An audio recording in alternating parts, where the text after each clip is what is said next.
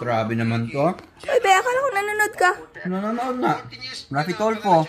Part 2 na nga ako eh. Ala ka, adik ka na sa tulfo ha. Gusto mo mag sa tulfo? Anyakan?